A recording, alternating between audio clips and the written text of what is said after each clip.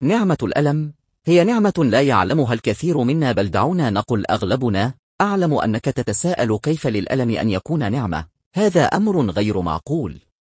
أعرني فهمك قليلا وستدرك معنى هذه النعمة. أعدك بذلك.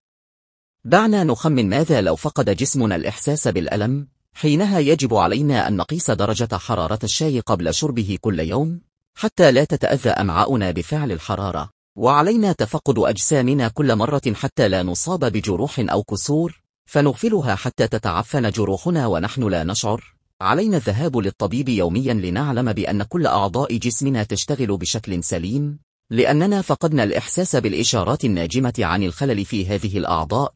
وربما ترتفع حرارتنا أو تنخفض فتؤذي بحياتنا ونحن لا ندري. علينا أن نراقب أيدينا بعناية أثناء الاشتغال بالآلات الحادة. حتى لا تجرحنا ونصاب بنزيف حد ونحن لا ندري. علينا تنصيب الكاميرات حول أنفسنا أثناء النوم ومشاهدتها في الصباح. حتى لا تلسعنا أفعى أو ما شابه ويسري السم فينا حتى يتخطر الدم في عروقنا ونحن لا ندري. ويمكننا أن نصاب بالعمى بسبب جفاف العين أو عدم إغلاقها في وجه خطر فيقضي عليها.